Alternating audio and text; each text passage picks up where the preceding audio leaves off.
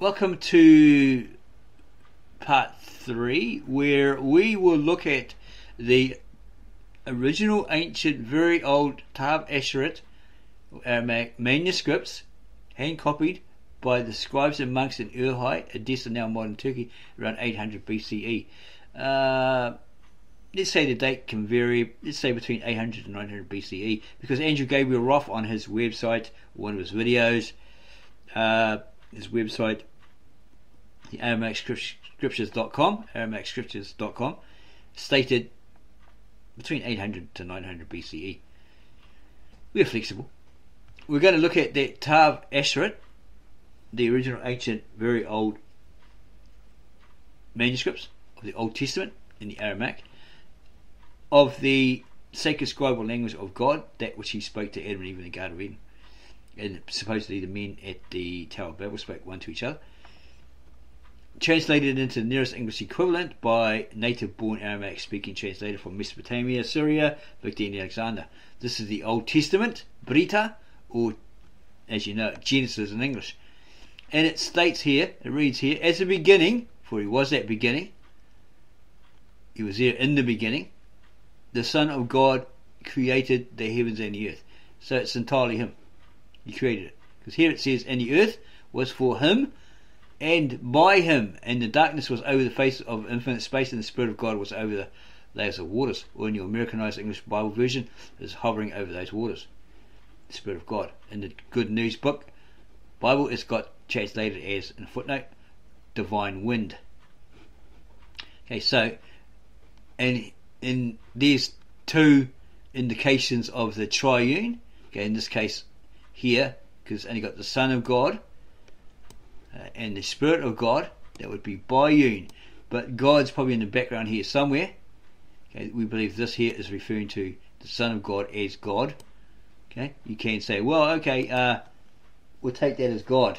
It's talking about God specifically in our version. Okay, so there, then you would have evidence of the triune in that very first verse. You have a look at the pictographs. Maybe have a look at uh, Dutch Uncle John or someone like that who explains it. Okay, and it points to God the Father, the owner of the tent, and the Son of God, the Messiah, who is the keeper of the tent, and so forth. You can always look at uh, other Messianic Jews that have basically said the same thing, but don't keep laughing through it. You know, like Dutch Uncle John does, giggling through it, whatever. Okay, if you wanted that, you know, just straight up, bam, give me that information, bam. Okay, uh, so you could compare that with John 1 verse 1 to 4 in the Galilean Aramaic manuscripts translated into the nearest English equivalent by the same Victor N. Alexander from a translator, uh, Aramaic speaking translator from uh, Mesopotamia, Syria. We're going to say Macadamia, but isn't it something completely different? Anyhow, um, so you can compare that with that, right? If you had that Aramaic New Testament the Self New Testament, you can even compare it with your modern Bible version, which would basically say the same thing. The only, only difference would be it says the word, which is the logos in the Greek, which is incorrect.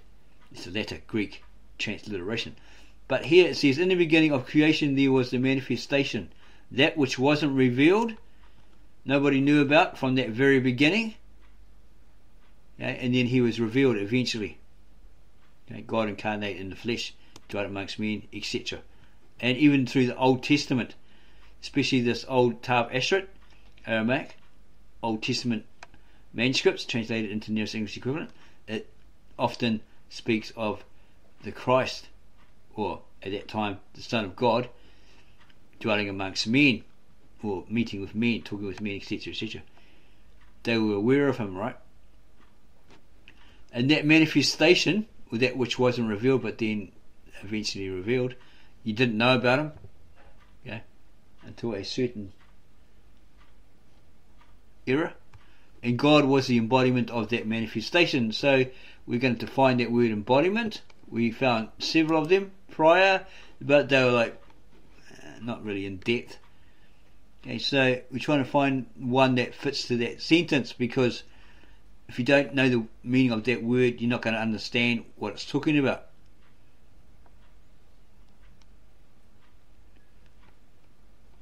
Okay, further down here.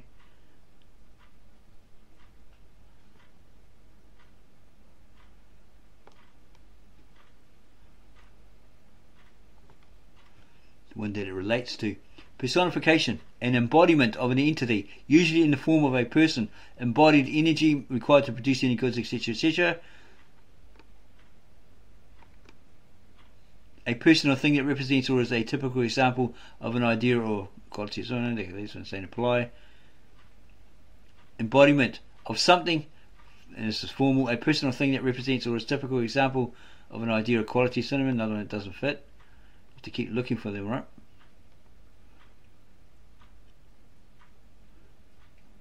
Uh, embodiment, the their most noticeable characteristic or the basis of all they do. Okay, here's one here from Merriam Webster. To give a body to a spirit, incarnate.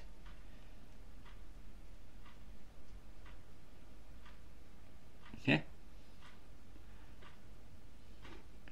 To represent in human or animal form.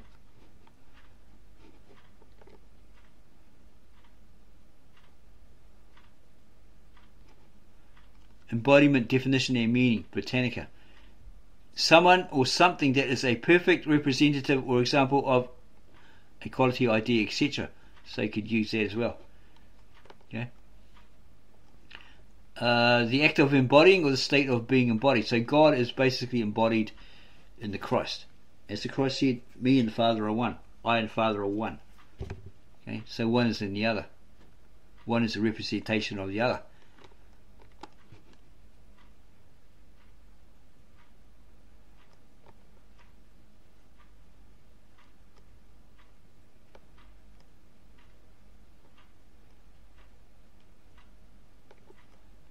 some of these meanings are very short and they don't show that God is the embodiment of that manifestation. Here's another one. You're talking about giving a form to ideas that are usually not physical, but then it gives examples of like love, hate, love, hate, and all that sort of stuff.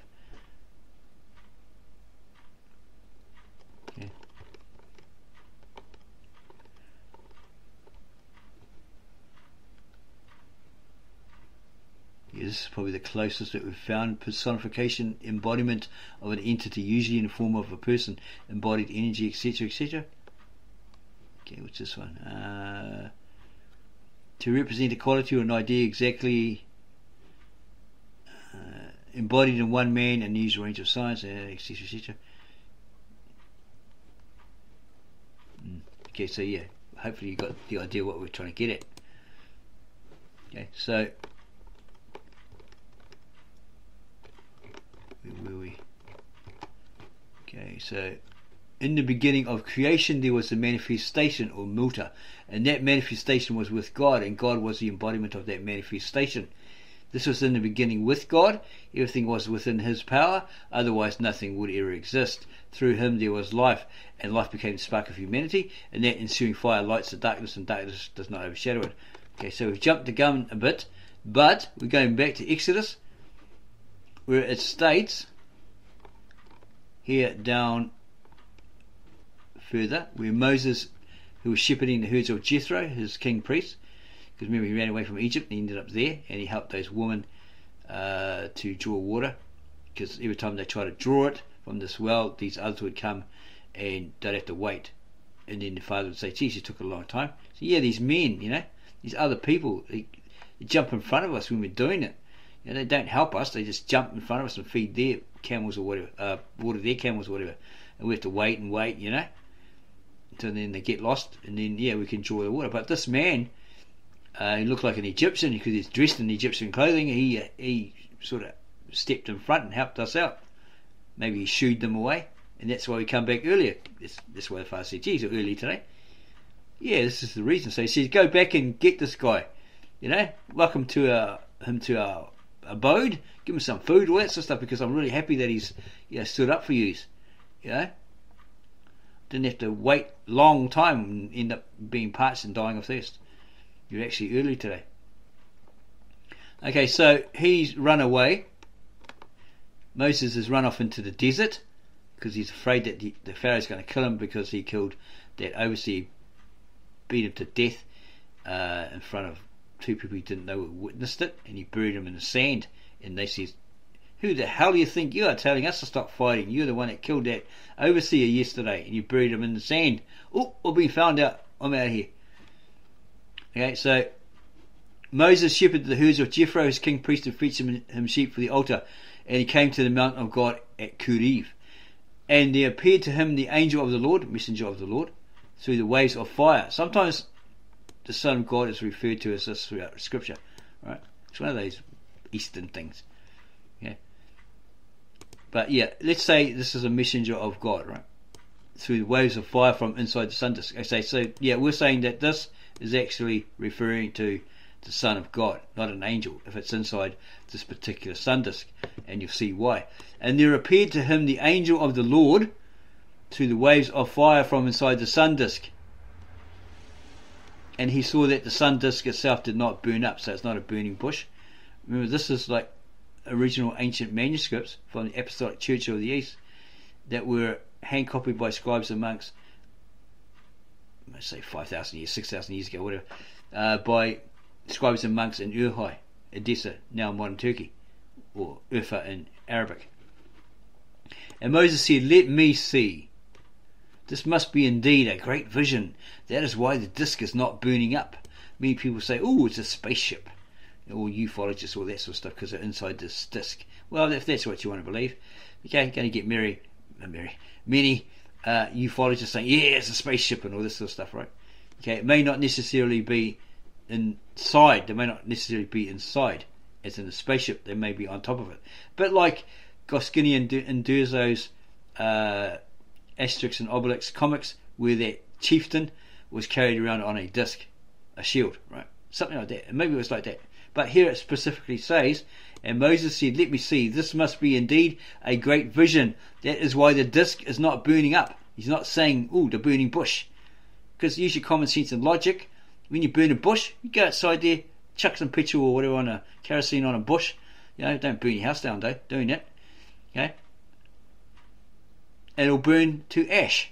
It's not going to burn forever, is it? Yeah? And people say, oh, but it might be divine burning. Yeah, it might be. It might not. It might look like it's burning, but it's not. Okay. And the Lord saw that he was approaching to look closer, that Moses was he's curious, he's like stepping a bit closer. And so God called him from inside the disc. Okay, so God, Father God, or God, called him from inside the disc and he said, Moses. And Moses said, uh, yeah, that's me. Uh, that's me, God. Uh, yeah, that's me. Look, that's me. Behold, it is I. And he said to him, to Moses, God said to Moses, Do not come near, take off your sandals, because the land that you stand on is holy ground. Yeah, because that circle? Going into that holy presence. So if it casts a light on that ground, well, that was holy ground, right? And he said to God, uh, God said to Moses,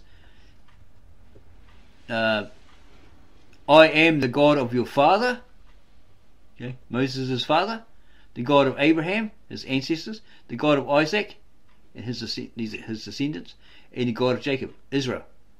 And Moses hid himself from the faces, two or more, see? You can define faces, that's two or more. That he saw because he was afraid to look at God. So here, it's telling you, okay, two or more faces, and that's God. So that's the triune. It's the Trinity. But there's more of the triune because the Christian Trinity concept idea is a little bit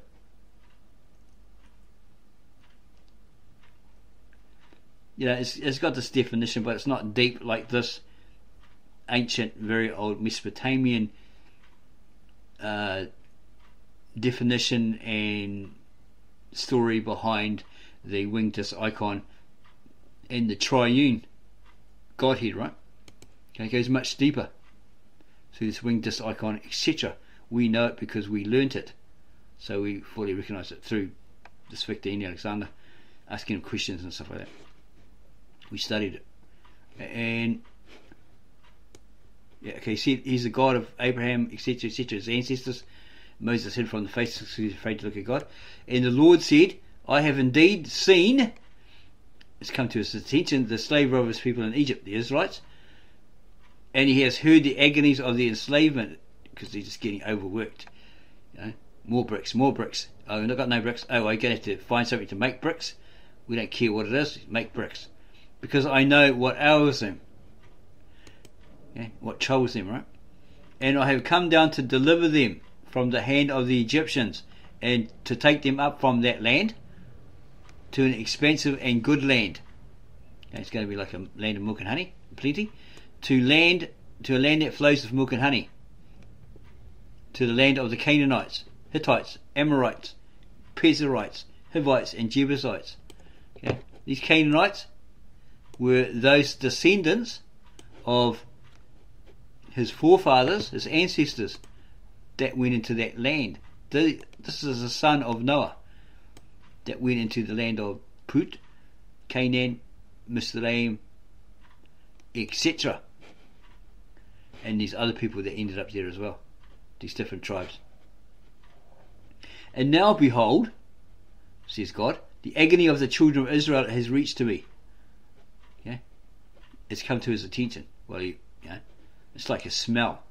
Uh, I always say scriptures we see so the, the, smell of their wickedness has uh, reached my nostrils or something like that. You know that sort of term. And and same with a um, sacrifice. He, he smells the sacrifice, and it's great. Uh, and you can also see the persecution by which the Egyptians oppressed them. More bricks, more bricks. Oh, you got no bricks? Well, you better go find something to make bricks.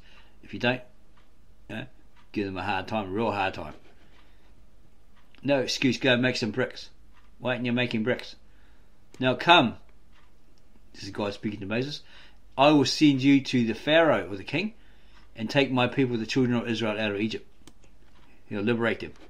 And Moses said to God, Who am I to go to the Pharaoh, the king, and bring out the children of Israel out of Egypt? He was unfair, right? Oh, and if I go back there, you'd probably kill me because of what I did, right? I killed that guy and buried him. And God said to him, I will be with you, etc., etc and you bring the people back to worship on this mountain, work on this mountain, right? Under this mountain.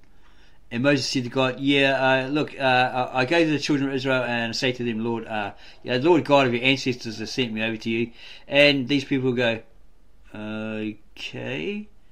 So if you spoke to that God, our God, what was his name? Uh, what am I going to say to them, God?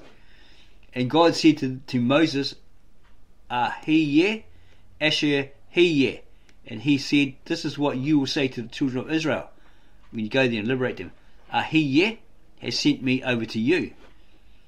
And again, God said to Moses, This is what you shall tell the children of Israel that the Lord God of your ancestors, he's repeating himself, the God of Abraham, the God of Isaac, the God of Jacob, sent me over to you.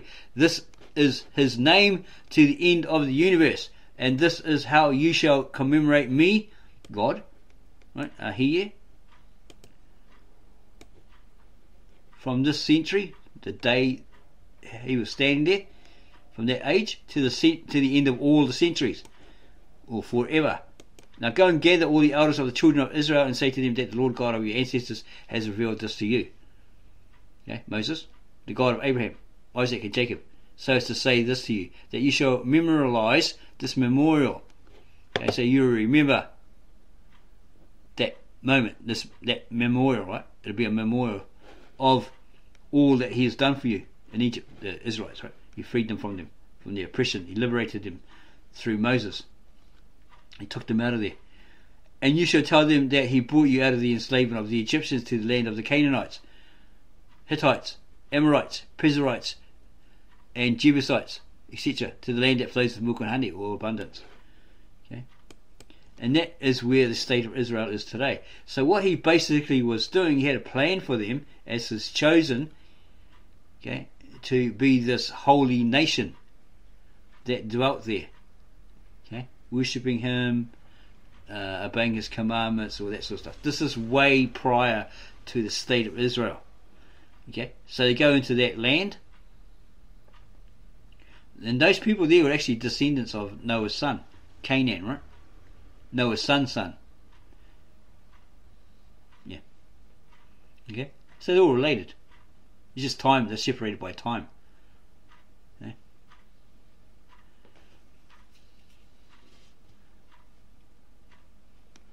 and I shall make them heed your voice, they'll listen to his voice. And you and the elders of the house of Israel shall enter into the presence of the king of Egypt. Okay, so Moses and Aaron as well, because Moses kept complaining down here, oh, I'm no good, I'm a stutterer.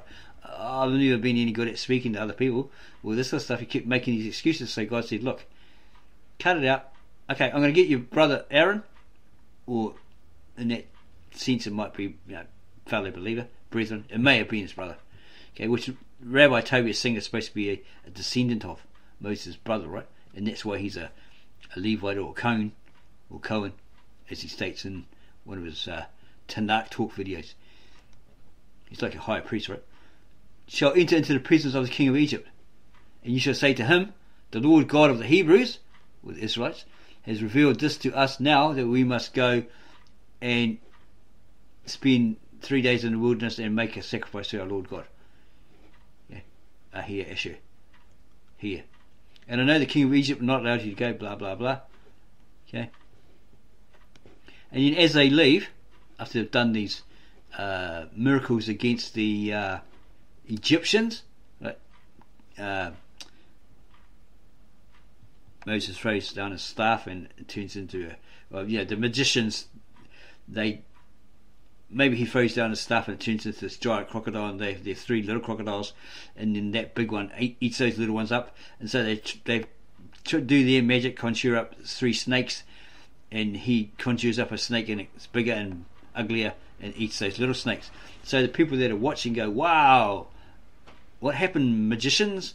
Uh, looks like you got defeated." Ha ha ha! Um, oh well, that's given us the uh, insight that you're um, uh, that Moses' God, Aaron's God is, is more powerful because uh, no matter what you do, he creates something bigger and it gobbles up your little uh, snakes or crocodiles. And then they saw all those, supposedly all those plagues going on. So they said, "Whoa, something powerful is going on." And then when they, the Israelites were finally uh, liberated from Egypt, okay, they were given all these all this wealth, like silver platters. What does it say here? Um,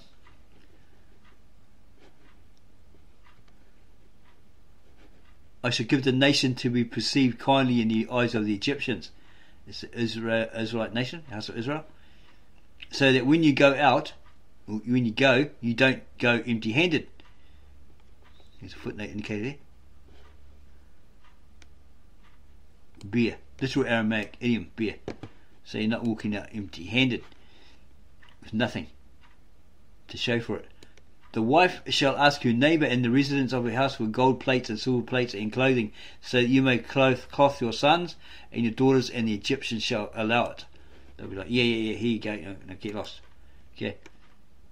So they took a lot of the um, Egyptian people with them because they believed okay, in the power of God through the uh, different things that Moses did with Aaron in the plagues.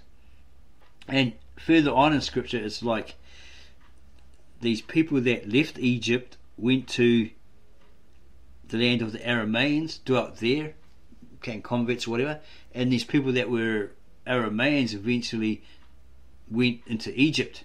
And there's a big plan that uh, Egypt will become again uh, Israel and Assyria. Okay, they were important, they've got an important role to play in latter prophecy, according to these different scriptures.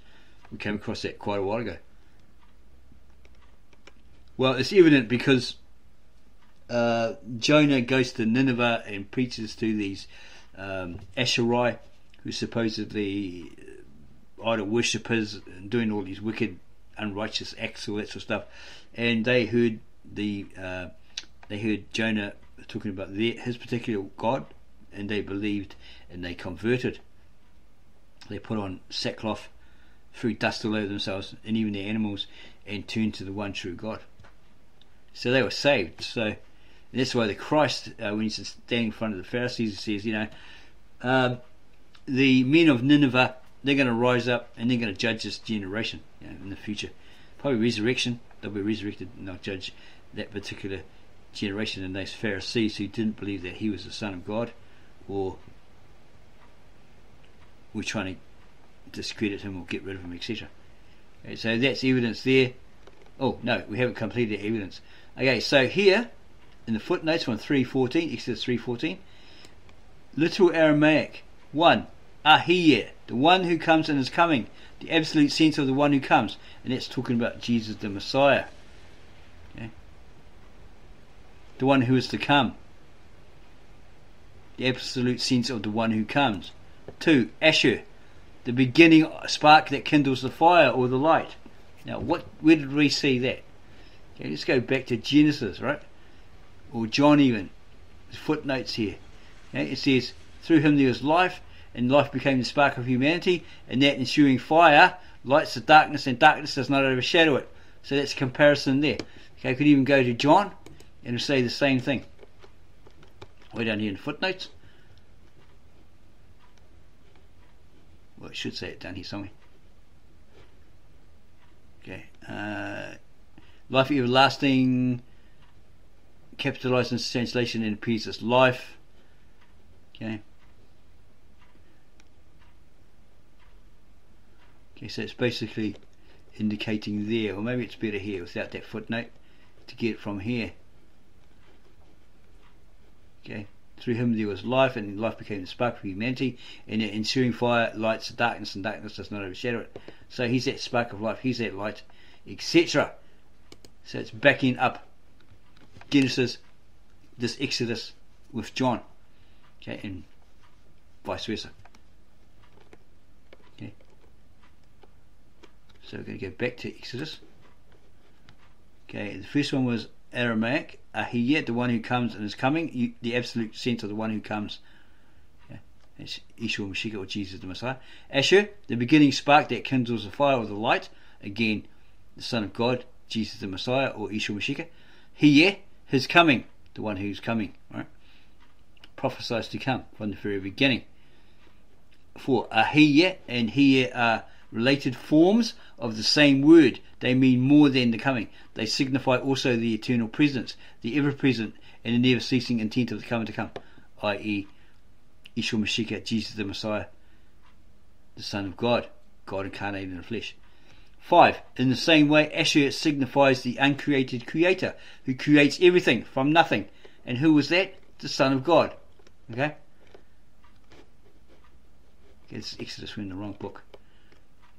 Okay, so to verify that, he is the uncreated creator.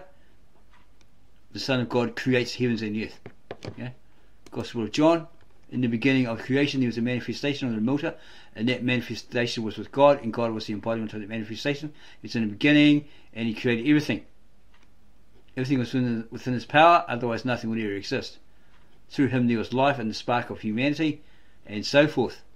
So that's basically backing each book up. Okay?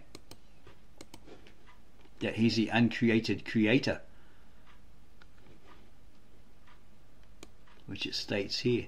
So these Jehovah Witnesses that came and said, no, he was begotten. That means, in the English definition, they were basically looking at, or trying to explain, that he was created, that God created him at some point. We said, no, because here it says he's the uncreated creator who created everything. He's existed from the beginning as he was that beginning. Okay? And then there's that one we're talking about, the winged disc icon.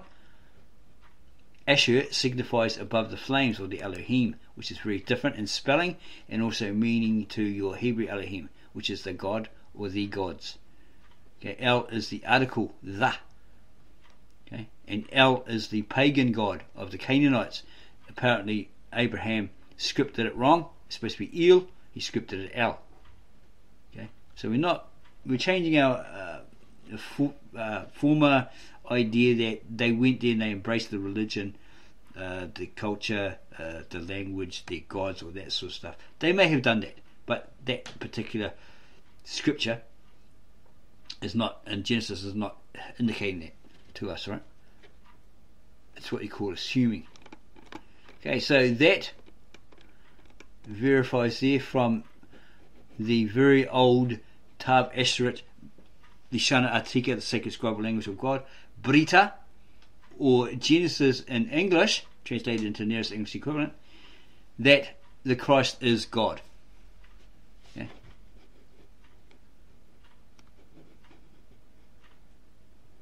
In that monotheistic sense, we believe. Uh, there's three, yet they're one. They're one and the same. But they can divide or separate to do to fulfill some uh, purpose or plan. You know, like uh, the Christ, because there's no other way. There's because of the sin fall of man, he's fallen short of the glory of God. Right? There's a great divide that's created. Sin separates man from God, so he can't come to God anymore. Okay, so how the heck is he going to go back to God? How's he going to be saved? He's destined. Every man, being, woman, child, etc., is destined to go to eternal oblivion or perish. Right? At this point, okay, when men sinned. well, Adam, uh, Eve sinned, then Adam sinned, and then men kept sinning down through the centuries. There's this great divide, great chasm. You can't get across it. Okay, a spiritual chasm, which separates those of the the children of the devil, those unrighteous, those wicked, who are in torment. Let's say they're in hell or whatever, right? It's got that separation there, so they can't cross over, and no one from heaven can cross over to there and walk around. They go, ooh, go on a tour, you know sell some tickets and go on a tour around hell. Well, you know, this is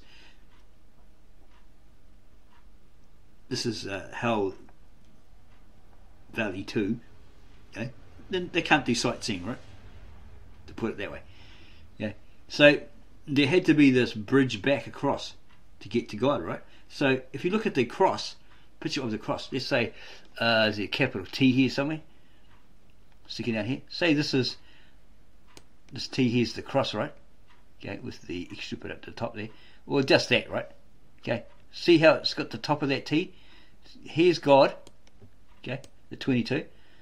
Here's man, okay, there's a big gap here. For example, we just use this as an example, right? There's a gap in between. So how the heck are they going to get how, how the heck are people going to get to God if there's a big gap there, a big divide? So what happens is Christ becomes that bridge across okay, the way back. And that's why he said, I am the way, the life, I am the way, the truth, and the life. Man cannot go back to God, come back to God, but through me. He's the means back. So you're a pope, okay, all those sort of people who say, I'm the vice regent, you have to come to me for sins to be forgiven, pay penance, pay penitence, chuck us some coin, whatever. Uh, others that are gurus, self-proclaimed gurus, saying, "Well, you can only come through me," because God stepped, uh, Jesus stepped down. He's having a holiday uh, as this guy said in Korea or something like that, and he gave me the authority. I'm his replacement. Well, this sort of rubbish. Now, pay me all your student loan. Uh, you're paying for your uh, at your university or something like that. You have to pay it all to me. Well, that's sort of garbage, right? Or someone else who says something similar to that. Okay, there's no intermediary between God and man but Christ. Okay, so Sai Baba, all these other Indian gurus, Buddha, and all this sort of stuff, it's all baloney. Okay? The only one that's the way back to God is Jesus. Yeah, as stated by him in Christian um, in the scriptures. Okay, so hopefully that verifies there that well we believe it does that he is the uncreated creator. Okay, that he is God. And there's plenty of other verses that say, O oh Allah, even your Allah, O God, even your God says your kingdom will live forever. And he comes, will be forever. And he comes in the name of his father, which is Maran Allah. Yeah. And he has this title, which is only for him. It's a sacred title. Maria Ishor Mashika. Okay. Lord God. Okay. Thomas when he saw him, he didn't. He's the doubter. He didn't believe that this was the Christ that was resurrected. Okay, and he says, no, no, I'm doubting that you are who you say you are. And he says, look, put your fingers in my wrists or my heart, uh, hands where the nails were inserted and and at the cut on my side. Okay? And then when Thomas did that, he realized, and then he exclaimed, My Allah, my Allah, or my God, my God, in the original Aramaic, Galilean Aramaic, because that's what he spoke. Okay? And that's what it's, it's translated from into the Near English equivalent. Okay? My Lord God, my Allah, my God, my Master? Etc. etc. Okay? So it goes beyond the simple scriptures of Peter, etc., saying, Come on, Lord, you are the Messiah. You are God's Messiah, right? Okay? Goes beyond that. And then you realize that at some point that he was indeed God. Okay? Part of that triune Godhead. Yeah, it's a monotheistic thing, it's really hard to get your head around. Okay, we'd have to keep doing a video on it to really get it into your head for you to fully understand it. But it's basically like that. So we see other religions as well, like there's Chinese history. Apparently, we came across one like that. Uh, maybe it's the Han Dynasty or something like that. This guy, whatever his name was, he said they. This guy said, this evangelist, what he was, Chinese one, in their language, that he was one who believes that there is one supreme God. Okay, one God, monotheistic God, but it's like there's three, but they're one. Yeah, it's kind of weird. And we looked at, we were looking at other religions as well, like Hinduism, and originally they may have had the same concept, but somewhere along the way somebody corrupted it and more in favour of polytheistic, well, not polytheistic, uh, pantheism, right, having more than one god, multiple gods, 3,000 gods, 30,000 gods, okay, all different colours, green, blue, yellow, all that sort of stuff, right? Yeah, different people had, even the Egyptians, they seem to, they appear to have, uh, according to this Kabbalah that we read, they had that same sort of monotheistic idea prior to when Akhenaten come along and it was short lived. His reign was short lived, and then when his son sat on the throne, his people, uh, the people wanted to go back to that pantheism, the worship of many gods, so maybe the oracles said to the sun, well, for you to uh, be able to sit on that throne and rule, the people, well, you have to do what the people suggest, right? So he embraced that, and according to that Zawa Hawass, Zawi Hawass, or what it is, that Egyptian archaeologist, on one of his documentaries, he comes up with a fronts up with a shoebox, and it's got these small mummified remains of these two children of this son. Okay, and he said, well, because they believed that their god was androgynous, yeah, both male and female or hermaphrodite, yeah, half male, half female. So they were emulating their god supposedly. So he married his half sister, and then they had these children, and of course, too closely related, something like that. Uh, then they ended up with clubfeet, and we do know of people that have clubfeet, but we're not going to go into that because, yeah, just no, it could be possibility that these people didn't know that they were related that close, right? So the children had clubfeet, and then these children had clubfeet. We don't know that, okay? But we leave it alone because that's their thing, right? Okay, and they get upset that we're saying that. You know, they think, oh, God's cursed us because of that. But then they may find that, yeah, okay, oh, geez, we didn't know we were that related. You know, not saying that they're deliberately performing incest, but you know, you don't know who you're marrying, really. It could be your first cousin for you know. You know, they could be living in another country. You meet them, you get married, and then, oh, it's revealed through your DNA testing you're both related, very, very closely related. Like, ooh, ooh, ooh. You know, this has happened to many people around the world. Okay, so we believe that verifies that he is the uncreated creator. He created all. That he is actually the Son of God. That is God. God manifest in the flesh, God incarnated in the flesh, God made man, okay? and so forth. So, if you like this video, uh, please give us a like. We'd really like that. And um, subscribe to our channel and then add your comments below. Because you may give us some insight into something else, and we'll credit you for that if you bring it to us uh, maturely, uh, like an adult, not a spoiled brat in a uh, supermarket or a candy shop that was deprived by his parents of a lolly. Okay.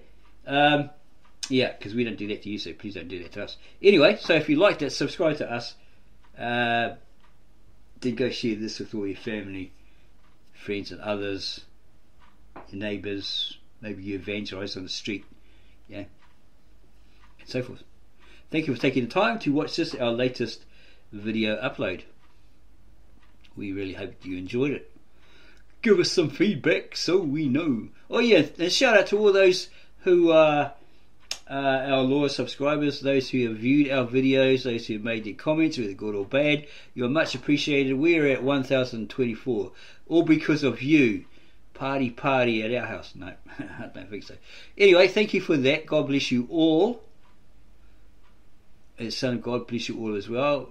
Give you many blessings, make your life more abundant, fruitful, uh, prosperous, etc., etc. Okay? You're deserving of it.